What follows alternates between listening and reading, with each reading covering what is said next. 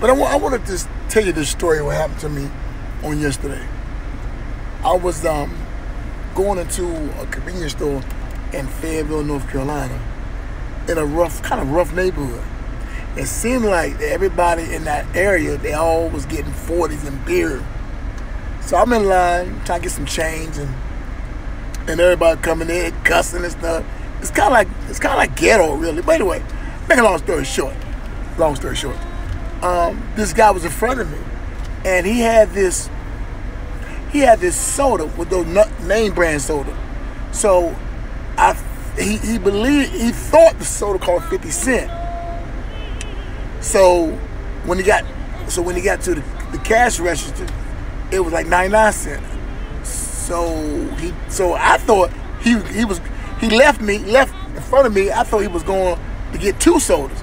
So as he got out of line, I think if I'm thinking he gonna get two sodas, but he put the soda. Now I know he put the soda back. So as I was walking out, he was he came out before me. I said, "Hey man, where your soda at?" He says, "Uh, it cost the soda cost 99 cent. I only had 50 cent." So I gave him five dollars. He said, "Oh man, thank you, man." Now here's the point I'm trying to make. It's nothing that I've done. Now I could tell that he was one of them guys that probably drink too, but this time he bought a soda. Sometimes we need to do things for just because, just because you feel an unction from the Lord. I just felt that I had to do something. I want to let him know. Sometimes when we make right choices, sometimes our blessing come just like that. And uh, it's, it was so funny when I gave him the five dollars, right?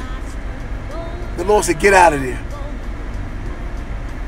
And I, I didn't understand what that meant, but now I know. He says, he said, because he says, uh, because he gonna come out there and try to thank you.